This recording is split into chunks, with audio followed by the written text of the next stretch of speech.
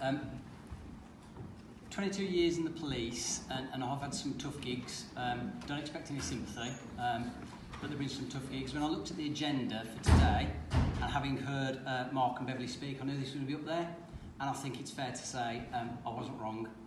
Um, I want to start though by confirming a few things. Uh, first thing, I want to confirm I am actually the commander for Walsall. I can confirm I am not security for the city. I can also confirm I'm not 19. I wish I was, but I'm not 19. Um, and the last thing I'd like to confirm is, and again, hopefully Beverly will explore this with me after, um, I'm not what Beverly expected. So hopefully we'll get to the root cause of that, and that'll be good, bad, or indifferent. Um, but I want to start by thanking you. Um, thank you for um, the invite for today. Um, I wouldn't have missed this for the world.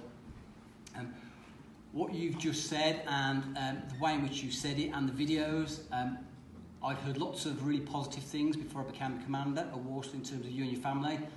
That reinforced it and I'm not surprised that we're here today on the result of what I've just seen. So, I'm not going to do the policing.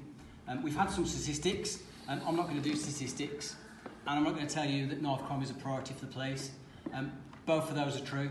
Um, it is a priority and knife crime is increasing.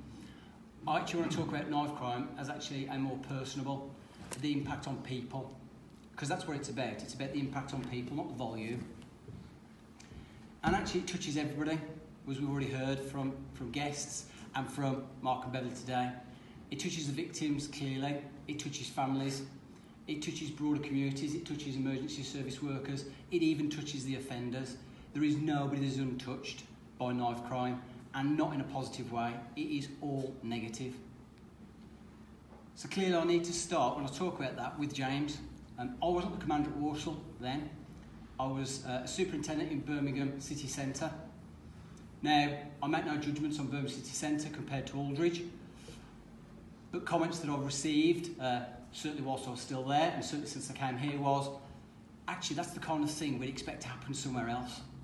And that wasn't just from colleagues, I remember a few days after this tragic murder, um, speaking to the senior investigating officer, and we shared some words outside Lloyd House, the headquarters, and he said to me then, Andy, this is, this is shocking. Just, you know, this doesn't happen in this type of community.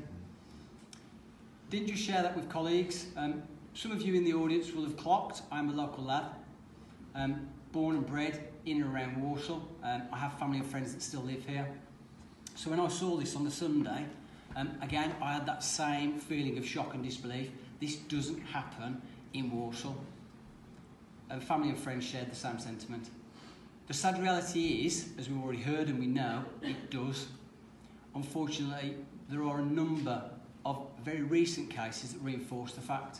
And I'm just going to touch on them just so we understand the actual challenge that we're dealing with today. So clearly, James, tragically murdered, in October of that year, Regan Asprey at the boxing match, again, tragically murdered. Just in the new year, January, Rezwan Ali at a house party, again the victim of knife crime. And a short while later, as we all know, tragically Mylee Billingham.